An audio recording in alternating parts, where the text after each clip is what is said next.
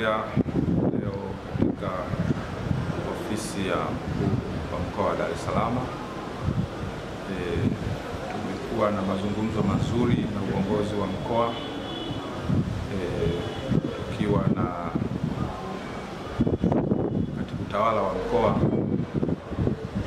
Tumezungumza mambo mengi yanayoangazia masuala ya ya umuhimu wa kushirikiana kati ya Tume ya Haki za Binadamu na Utawala Bora na ofisi ya mkuu wa mkoa wa Dar es Salaam katika kutatua changamoto mbalimbali ambazo wananchi wanakutana nazo katika kutafuta haki zao za namna mbalimbali na kwa namna tofauti. E, ni vema pia kueleza kwamba ofisi ya mkuu wa mkoa pamoja na, na Tume ya Haki za Binadamu kwa namna tofauti tofauti, wote tunawahudumia wananchi ambao wanafikisha malalamiko yao kwenye ofisi hizi.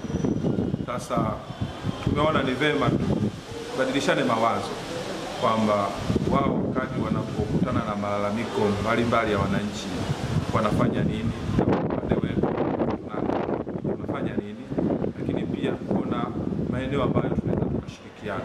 Kimsingi, kama ofisi ya mkuu wa mkoa kupitia kikao hiki cha leo ambacho kilikuwa kimeongozwa na katibu tawala wa mkoa tukiwa na mgeni kutoka Tume ya Haki za Binadamu, kamishina wa haki za binadamu, ofisi ya mkuu wa mkoa imejifunza vitu vingi.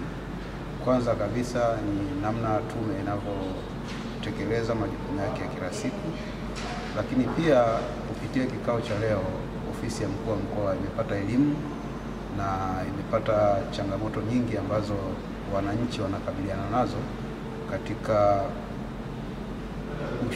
ushughulikiwaji wa malalamiko yao mbalimbali.